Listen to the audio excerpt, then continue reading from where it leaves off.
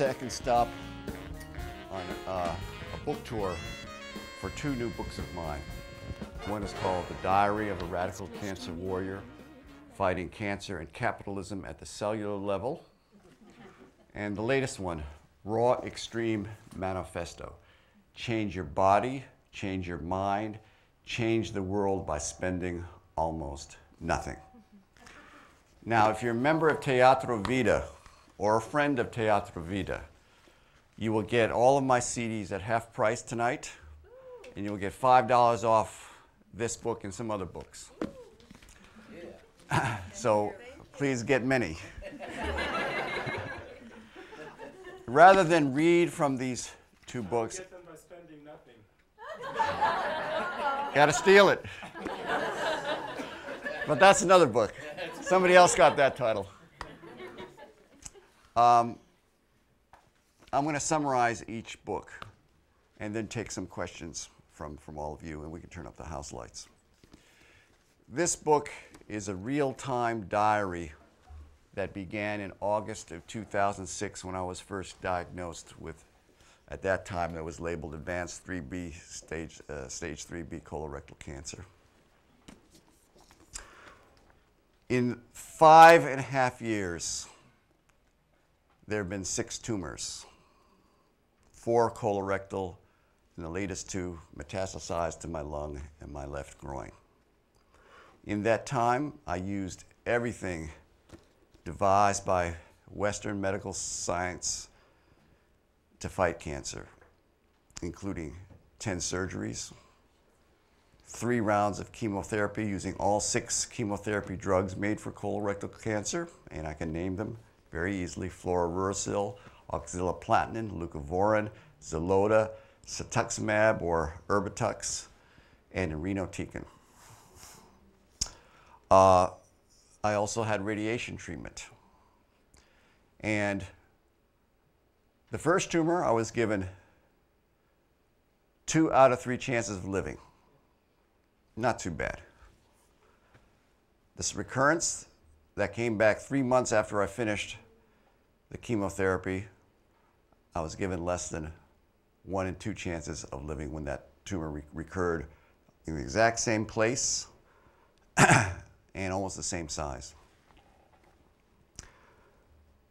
We hit that tumor with two rounds of chemotherapy, another multiple series of surgeries. I lost my left kidney. And uh, I had a temporary ileostomy bag that was meant to basically collect my stool and relieve my colorectal system. That was reversed, meaning that hole uh, was uh, plugged up again. And uh, then another tumor happened, now in a different area in the rectum. It was diagnosed in a, in a colonoscopy uh, December of 2008.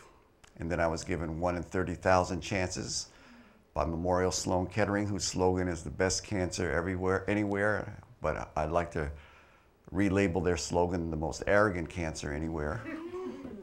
I gave up Western medical science. I went completely naturopathic, which is the opposite of allopathic, which is the Western paradigm of cut, burn, poison, cut, surgery, burn, radiation, poison, chemotherapy. And I devised a series of alternative pro- protocols, which are listed here, too many, too numerous to share with you, including the use of an illegal treatment that uh, is illegal in uh, uh, 39 states in the United States, ozone treatment. And uh, when uh, the fourth tumor came around, uh, Memorial Sloan Kettering, third tumor, Memorial Sloan Kettering gave me one 30,000 chances of living. The fourth tumor, they gave me no chances of living. And now that I'm stage 4B metastatic, it's terminal. So when my end will happen, could be the end of this year, maybe sometime 2013. Certainly, I'd be really be pushing the numbers if I lasted to 2014. So I know my end is um, certainty. Um, so out of this experience, there are four, five strategies that I've developed in fighting cancer. these are one, nutrition, two, hydrogenation, hydration, three, oxygenation, four, love, and five, self healing. And the self healing part of it is the naturopathic paradigm. But let me just explain fourth one love. What kept me alive during this time was just not my own personal strength and desire to live, because for three, for three occasions, I, I basically gave up. I wanted to commit suicide. And I'll tell you about that in a minute. But it was the Warriors for Fred, a self organized group that included Magdalena Gomez, Jennifer Fowle, Paget Walker, and my general, Nana Queen Mother Ann T. Green. And that warrior, Warriors for Fred did everything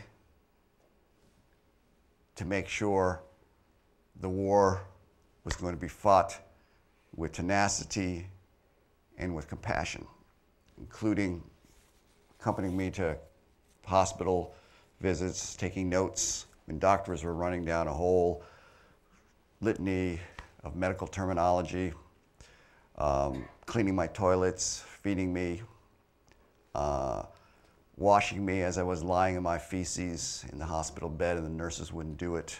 When I had a fever of 104 degrees, uh, finding a garbage bag and filling it up with ice from the ice machine and burying me in ice, which was the only thing that lowered the fever, all those kinds of things.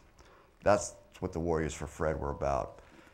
But also, they um, prevented me from committing suicide on three occasions. The first occasion was after tumor number three was cut out, and the surgeon didn't tell me as I was recuperating that he couldn't sew me back up again. That I had so many surgeries beforehand that my skin, there was so much scar tissue that my skin was like frayed fabric. When You stick a needle through and try to pull it through, it would just rip. So he gave up. And the next day, he went to go speak at a conference in the Midwest and didn't tell me that's the situation. So I was discharged, went home. For 12 days and nights, I couldn't sleep because of searing pain. Any movement was like a knife cutting through me. And so my good friend Stephanie Athey, who's a specialist on torture, said that to me, that this was torture. When you can't sleep, when you're in constant pain, all you want to do is to end it. So that's why torture doesn't work. It doesn't work because basically the torture victim will tell you whatever you wanted to end the pain.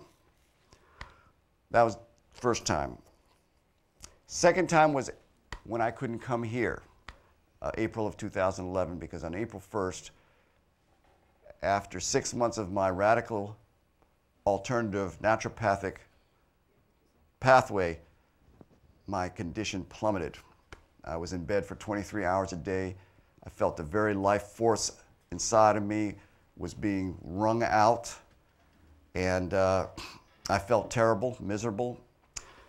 And I wanted to end it there. And I asked two comrades from Scientific Soul Sessions, one of whom was a botanist, plant specialist, find me some kind of herb that would just kill me and give it to me. Well, my two friends didn't comply with my wish. So I went through another radical surgery that included the removal of my bladder. I don't have a bladder anymore. Removal of my prostate, removal of my rectum. So I now live with a colostomy and a urostomy bag. So I've had all three. Very few people have all three. I've had an ileostomy, a colostomy, and a urostomy. Okay, so that means I shit in a bag and I piss in a bag, and I can, can't control it because I have no muscles anymore. I don't have any organs.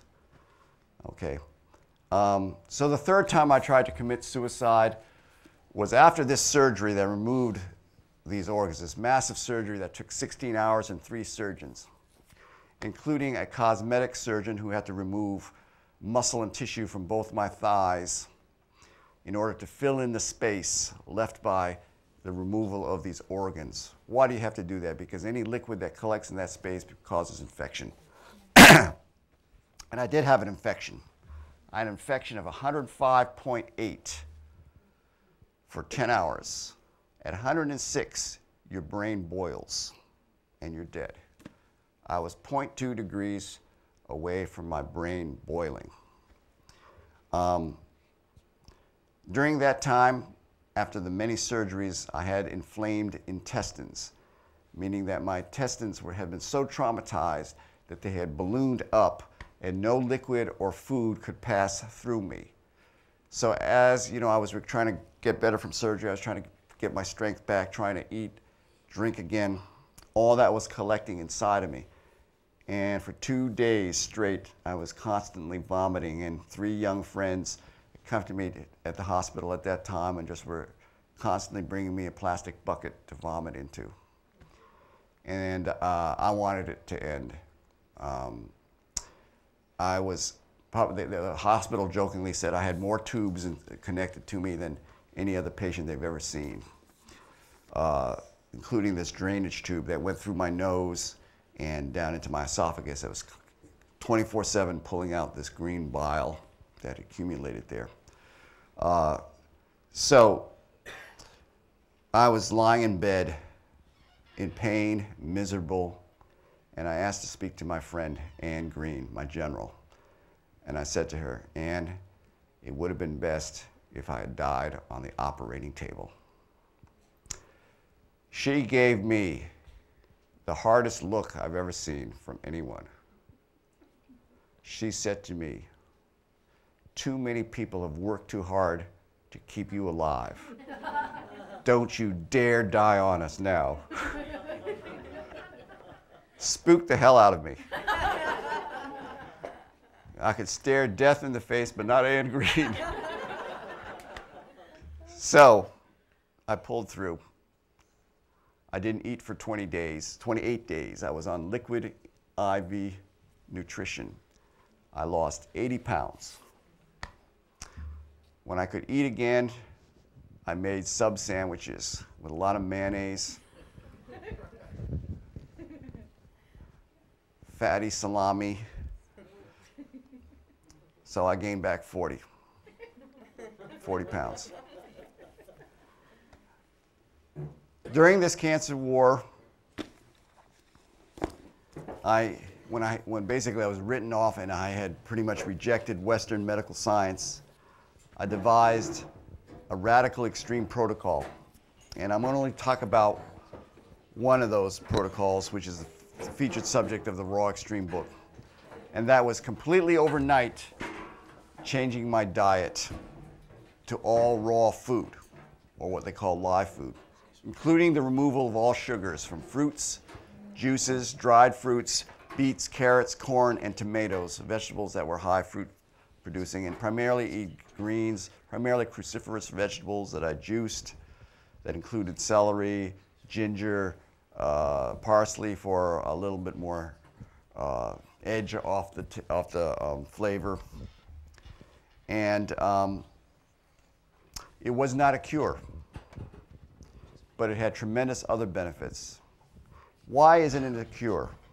Because there is no such thing, and there will never be a cure for cancer as long as capitalism exists. Because here is the profound paradox that I've challenged the medical industry, and not one person can respond to this. Here's the profound paradox Cancer types are the most, and cancer rates are the highest in the most affluent societies on this planet. Very low among the so called primitive peoples. And advanced and the, and, the, and the most affluent societies, paradoxically, have the most advanced medical technologies as well.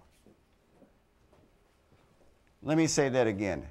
Cancer types and cancer rates are the highest in the most technologically advanced and affluent societies on this planet. So that's why nobody in the cancer medical field can claim there's a cure. There is a vaccine for the human papillomavirus for cervical cancer, but it's not a cure. It's a, it's a vaccine. But there is no cure because there is no cause of it that can be understood within their paradigm. Because the cause of it is the very capitalist, industrial, modern existence itself. and the pervasiveness of social and environmental toxicity. So, capitalism is the cancer for Mother Earth. It is teratogenic, earth killing. And cancer is the manifestation of capitalism, the plethora of social environmental toxicity in the individual. And that's the profound connection that I came to understand. So, anybody who uses the word cure, it may apply to certain individuals who certain tipping points in certain their, their own particular cancer may not be as aggressive or they caught it early enough. There may be an individual cure, but the word cure only applies to statistical probability, meaning that if you make it beyond 10 years, you're quote unquote cured, even though you still have cancer cells inside of you. You're cured because you made it to 10 years. So that's a statistical term, not an actual term of truth. It takes 1 billion cancer cells to form a tumor the size of one centimeter. So my original tumor was 5.5 centimeters. So it was at least more than 5 billion cells. So we all have cancer. Depending on our conditions, depending upon our interaction with the matrix, it all will manifest at different times. So it's not a question if you'll get cancer, it'll be a question of when you'll get it. So that's why the conservative group, the American Cancer Society, says that in 50 years, one out of two American men will get cancer, and one out of three American women will get cancer. There is no cure. And as long as industrial capitalism exists, it will get worse. That's why you have to be a revolutionary.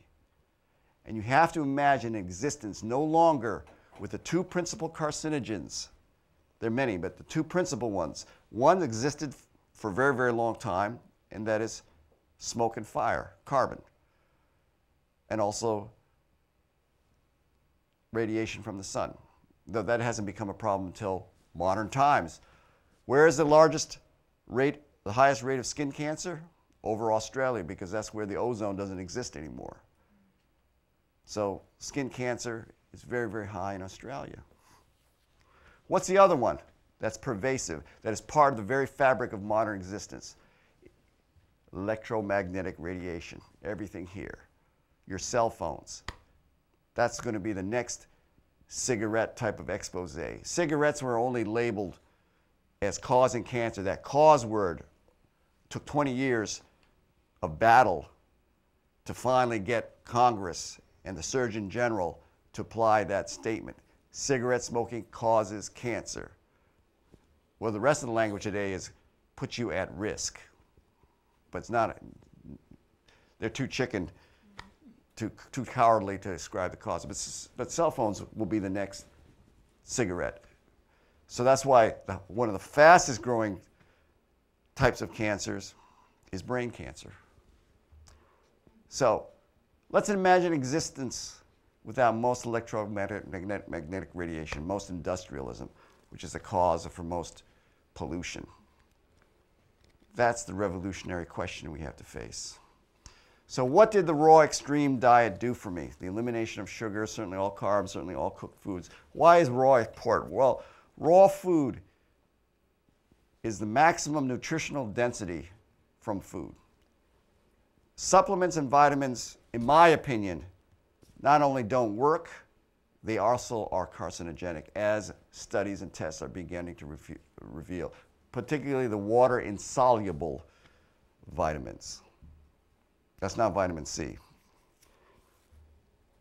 So, the best source of your nutrition is from actual food.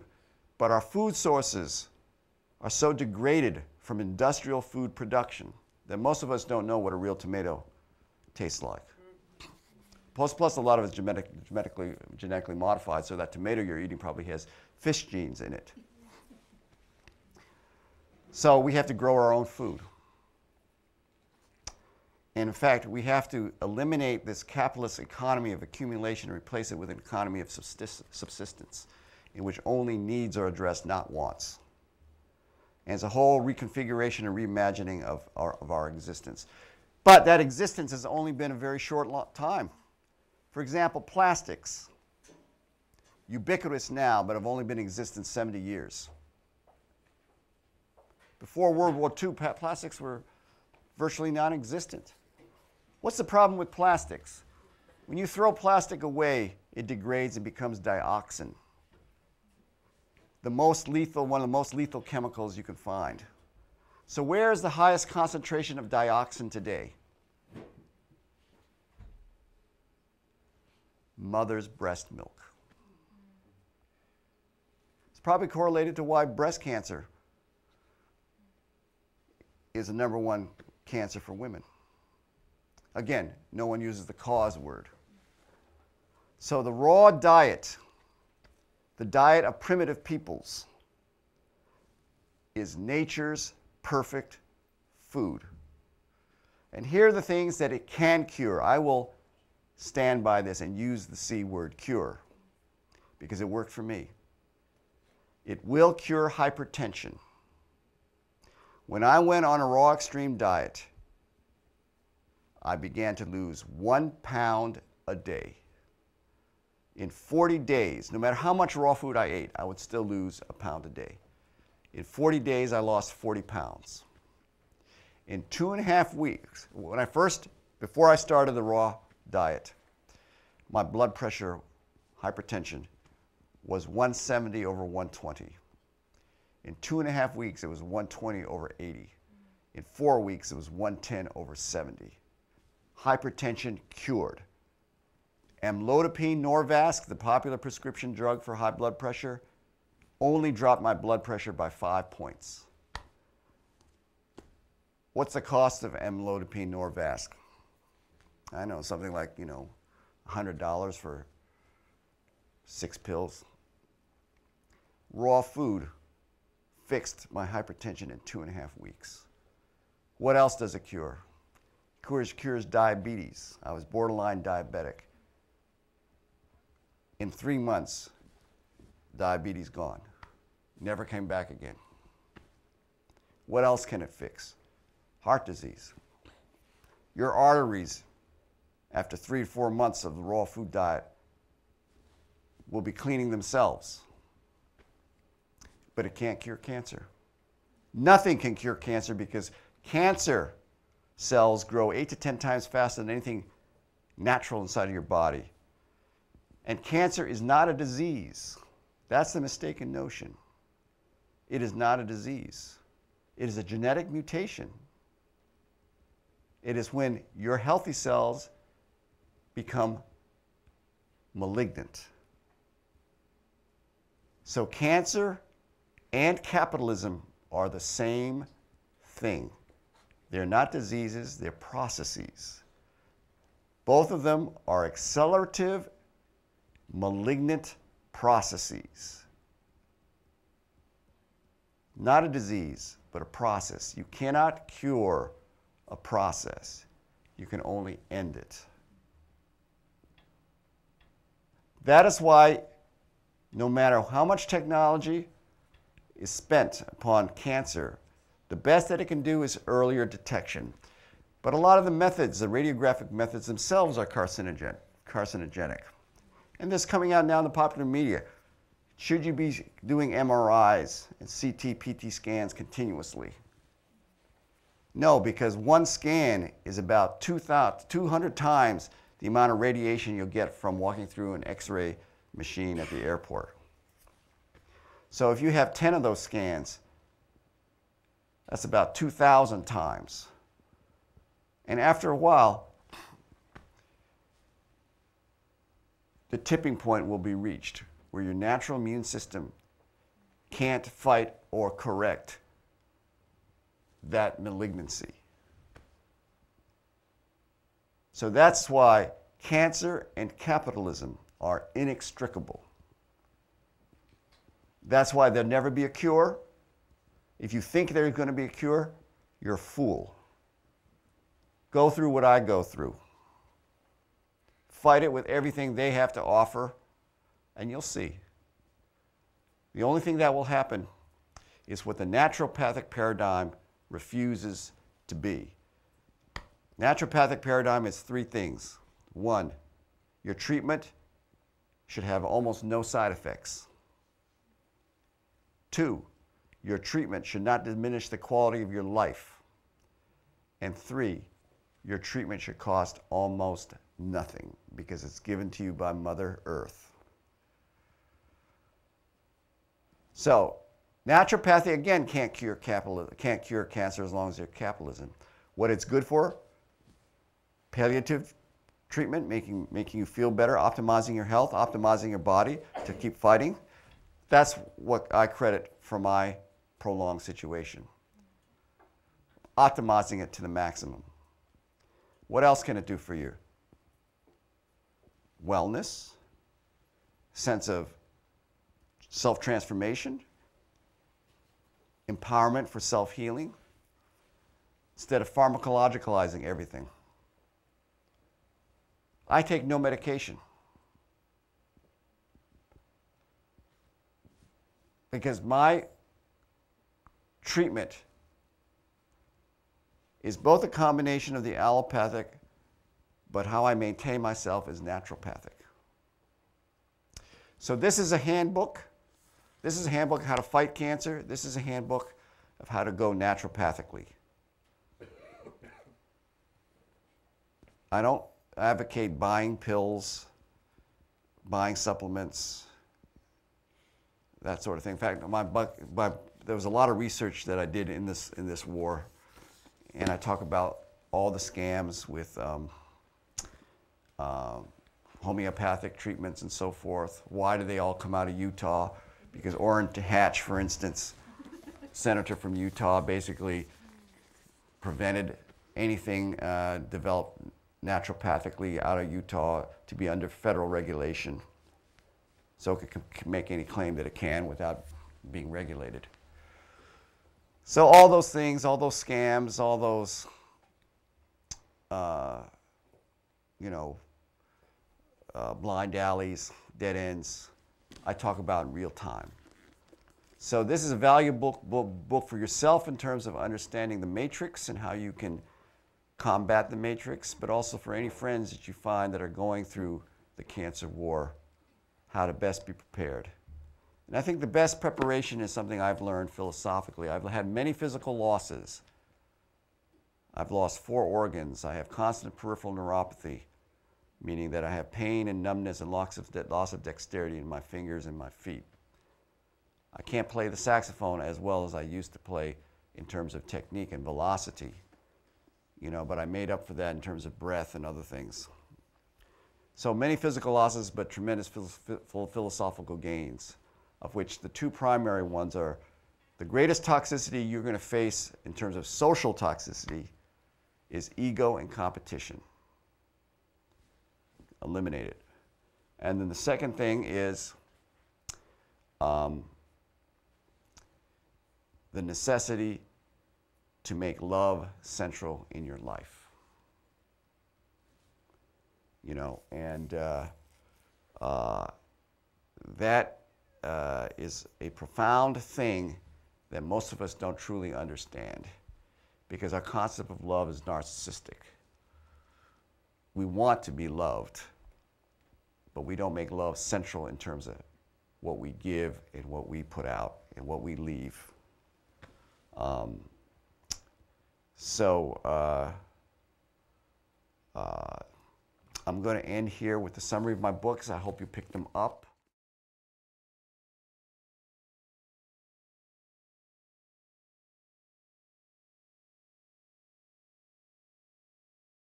Accept the truth, no matter who the messenger is and how it's delivered.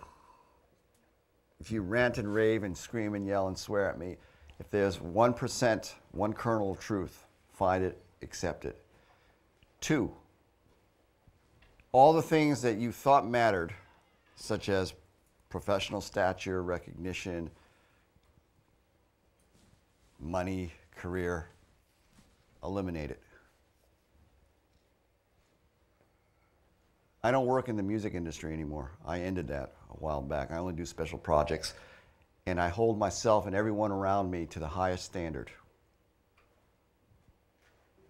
This is not a gig. This is because you want to be with me on this journey. Don't disrespect yourself and don't disrespect me. Come with full integrity, and that's it. If you don't have it, we're done. We're done. I don't have time to waste. My time is so precious to me right now. You know? And I guess the third thing about ego is um, expect nothing. No expectations. You know, let your karma speak for itself. So I, I, I uh, am very happy right now. I'm very productive. Uh, I guess I'm living the samurai credo, living while preparing for death. So I've cemented my musical legacy. There's no dispute what I've been able to do and accomplish and create at great cost to myself personally. Great cost that few people can even imagine. The constant miracles I had to do in terms of my operas and my shows and everything else with very, very few resources or support. And I was slugging out, competing, you know, and I felt the best armor or best weapon I had at that time was ego. Proved to be fatal for me. So I paid the price. I paid the price. You know, my death is imminent. But that's not going to be a death based upon submission. I'm fighting to the end. So my integrity, my dignity, all those things, that's my quality of life. I may not be able to play as fast as I used to be able to do. I'm, I'm dominated 24-7 by two ostomy bags that rule my life, all these kinds of things. But, you know, that is not what's front and center. And I don't allow it to be front and center. You know, uh, they have to go through my boot camp because what I'm giving them is what I had to learn the hard way in 40 years. And I don't want them to get cancer. So that's why it's hard. And you have to be willing to accept that. But I'm giving away everything. You can't take it with you to the afterlife. I mean, I'm not like the pharaohs, so I'm not going to mummify everything. so I'm giving it all away. And nothing I'm holding on to. And there's nothing I seek to have or accumulate except for wisdom, creativity, and love. Those are the only things that, are, that matter to me now, right now. So all my physical losses have given me tremendous philosophical gains. So I'm gonna, you know, I'm, I, am i am sharing that. And the last thing, you know, is, is uh, I'm very clear what my mission is. I went to hell three times and I met God in hell. God doesn't exist in heaven. God exists in hell. That's where you make you, you meet your maker and you find out what you're really made out of. And he said to he said to me, "Get the fuck out of here. Get back there. You haven't done what you're supposed to do. I'm not accepting you yet." And what is that? My mission on this planet for what time I have left is to do the art and music and politics no one else can or will do. Just that. Just that. So what have I done in the music situation? Well, I, did, I rejected the music industry, so I created my own infrastructure. So I can do any project I want to do. But it only requires people who want to go on that journey with me at the standard that I expect to be at. Period. There's no negotiation. Accept or decline. Done. No compromise. Let me read the rules of the Raw Fight Club. Rule number one no compromise. Rule number two no compromise. If you compromise, you will be kicked out of Raw Fight Club. Rule number three everyone must fight, no exceptions. If you're new, you must fight first. Number four anyone can draw, join Raw Fight Club. Anyone can leave Raw Fight Club at any time. Number five, you must talk about Raw Fight Club. Number six, you must fight to win. That's the self organized group called the Raw Fight Club. People who taught each other live or, or, or raw food extremism. There's a mixture of things, some of it which were very adolescent, you know, trying to be cool, that sort of stuff. Uh, but I think the main thing was a way to channel the anger I had about oppression, about all the racism and discrimination I felt growing up here in this community. And uh, it was the Black Arts Movement, Black Power movement that uh, systematized and theorized my experiences, and I saw similarities, parallels, and um, the music was the way in which my adolescent frustrations uh, were directed in a creative and productive way. To regenerate creativity, to find within yourself, even when you're terribly sick, uh, possibilities, to hear and explore things. For example, when I came back from the first surgery, I had a commission. Uh, I came back early October. My commission was um, going to premiere the Guggenheim Museum on November 4th. And uh, I tried to take out my baritone. And in 30 seconds, I could barely get a sound out of it. And uh, I was very depressed. So I called up the impresario and said, You have to find someone else. I won't be ready. They were very understanding. Um, but in my recovery process, I had to learn how to breathe again. I had to, I, basically have to learn how to play now with no diaphragm because if you, if I took off my clothes right here, you would see everything cut up. I had to learn how to, you know, uh, breathe without a diaphragm anymore. Um, and so I can hold long notes without circular breathing, though I could cheat and do circular breathing. I consider circular breathing, with the exception of people like Rahsaan Roland Kirk and Dizzy Gillespie, to basically be gimmicking. But I basically connected with my deep sea diving techniques and applied that to repairing my breathing methodology. And so that musical challenge was a way for me to discover how to transcend the physical loss that was irreparable. So, um, music, you know, is a spiritual thing because in my darkest hours of chemo hell, I would watch old movies of the greatest Muhammad Ali, and his indomitable spirit inspired me. So I composed the Sweet Science Suite a tribute scientific soul music honoring Muhammad Ali, which um, has become a small hit right now. It'll go on tour next year, regardless of whether I'm alive or not, and uh, end up at the Brooklyn Academy of Music Next Wave Festival and Apollo Theater. It's got marvelous choreography by Christal Brown, who was with Bill T. Jones and uh, Urban Bush Women. Um, but I wrote that piece during those darkest hours. I did it in six weeks' time. Worked for the Green Monster Big Band. So creativity doesn't have to just be music, it can be many other things. I mean, I kept myself creatively challenged. I designed new clothes during that time. The raw food thing meant that I could get rid of most of my kitchen. My stove and oven are permanently turned off. You know, and I found such liberation in making small but radical and extreme steps.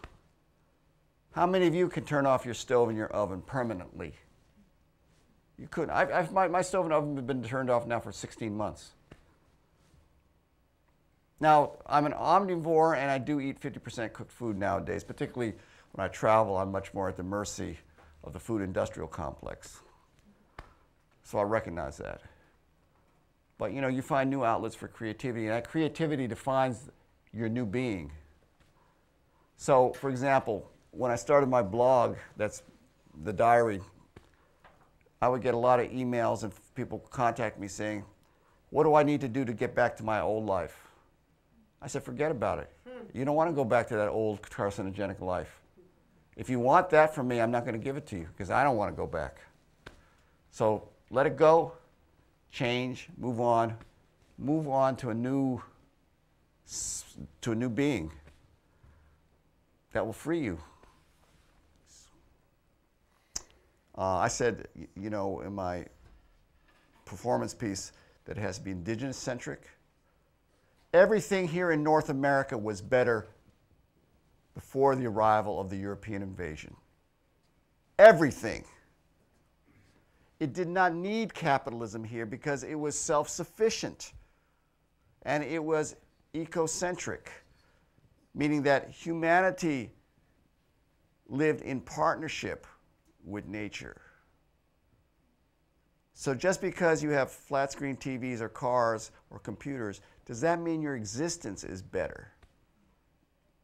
The existence that we can hardly imagine now because it's been so destroyed, but the little bit of information we get actually from native peoples and also from anthropological data is that life and humanity was better.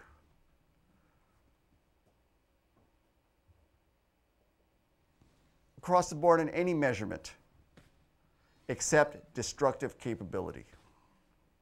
That's what's better today.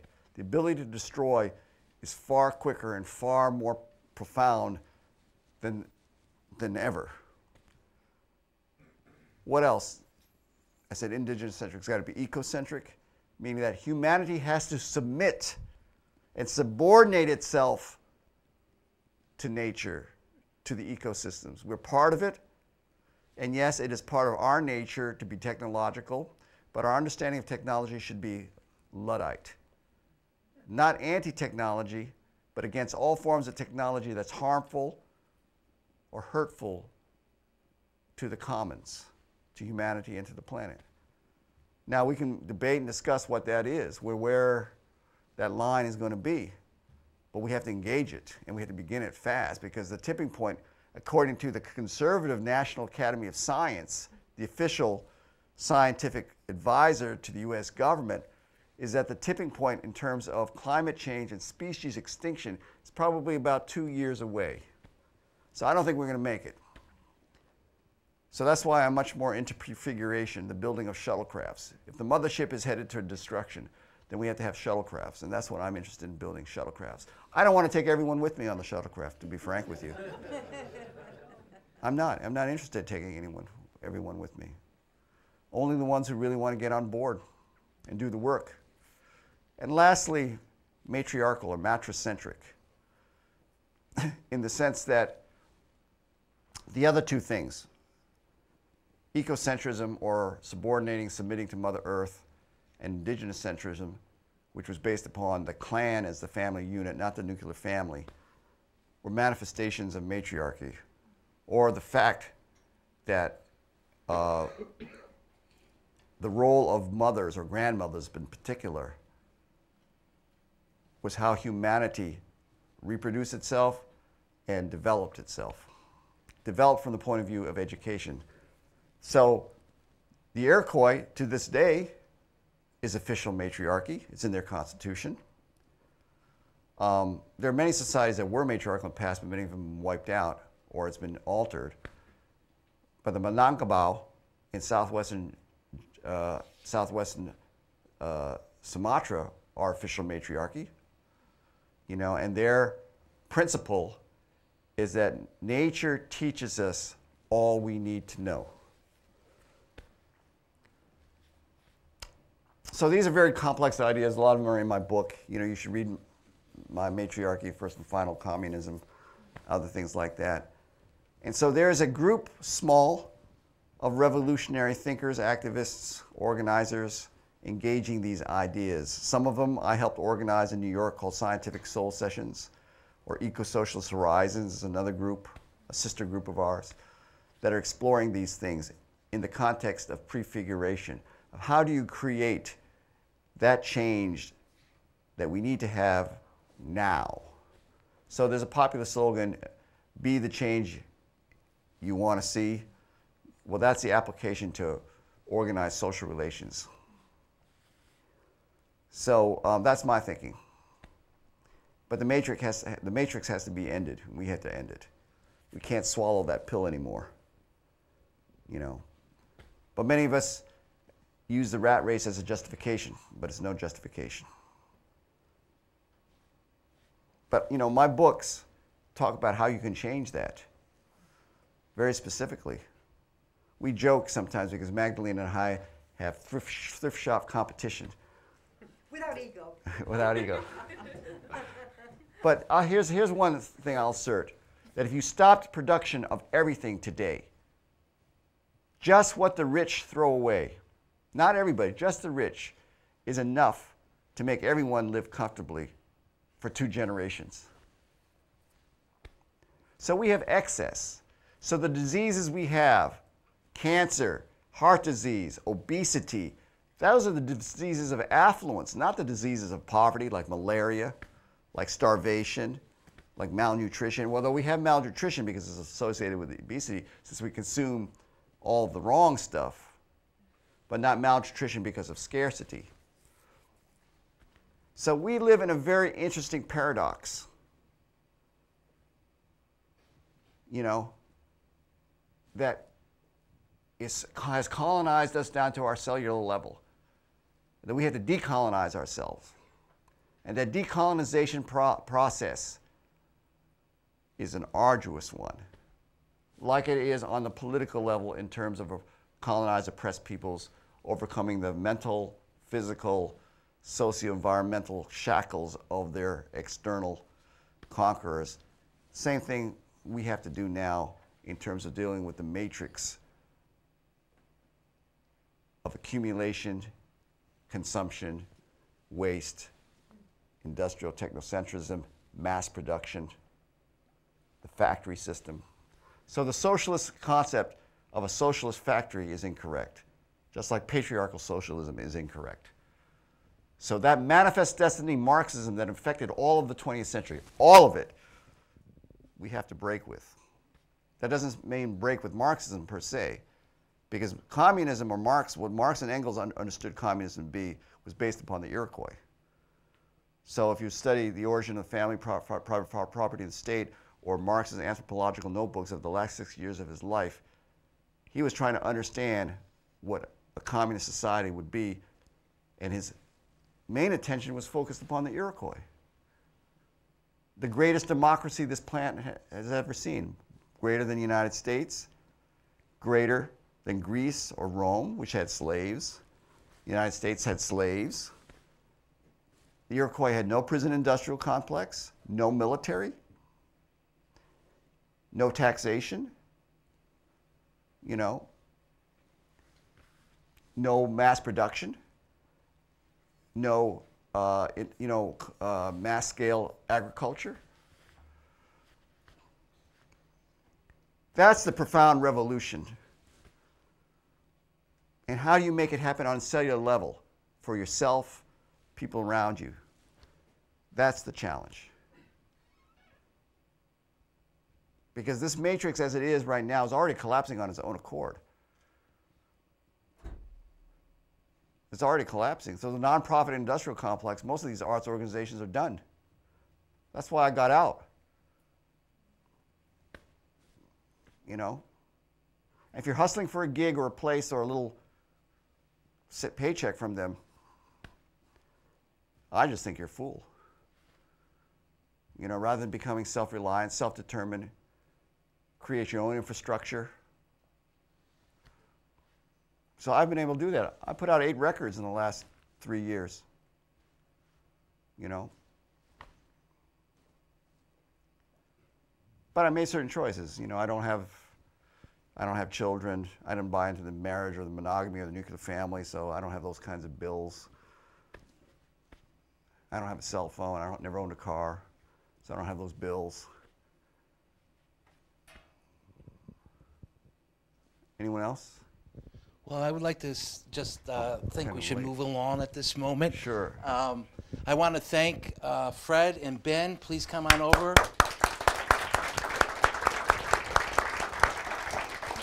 the Magdalena for a beautiful opening. All of you who came out tonight,